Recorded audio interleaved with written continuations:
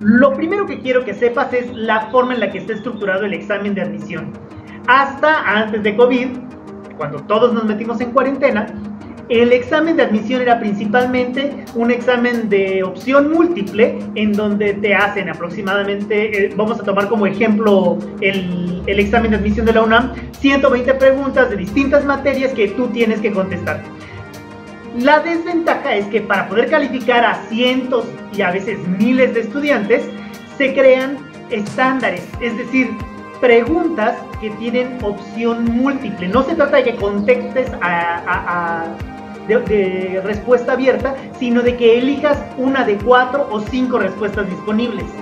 Y eso ya presenta varios sesgos de medición que a ti pueden confundirte y hacerte daño, o que una vez que sabes que existen, puedes utilizarlos a tu favor para obtener la mejor calificación.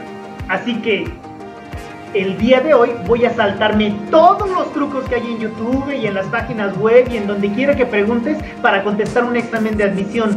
Nadie contesta adecuadamente un examen de admisión sin estudiar porque lo que se trata es de evaluar tu conocimiento. Sin embargo, el examen de opción múltiple es de las peores formas de evaluar tu conocimiento. Así que en medio de esas dos opciones, tú tienes la, la, la ventaja de saber cómo está hecho el examen de admisión y utilizarlo para obtener la mejor respuesta posible y la calificación más alta que te permite estudiar la carrera de tus sueños en la universidad de tu elección. Así que